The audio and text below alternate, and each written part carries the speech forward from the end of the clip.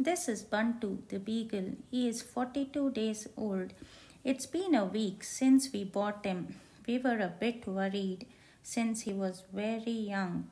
He got comfortable at home. At night, we put him in a cage and made him comfy. But since it was his first night, he did wake us up around three times. But next day onwards, he was so well adjusted. He reduced waking us and now he sleeps all through the night.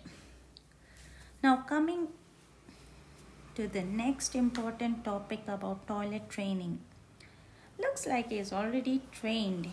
Yes, one side of the cage he sleeps and the other side he pees or poos. When left free, he goes to the toilet on the mat. But sometimes accidents do happen, right? Oh, look at him. He's so cute, mischievous, and plays very well.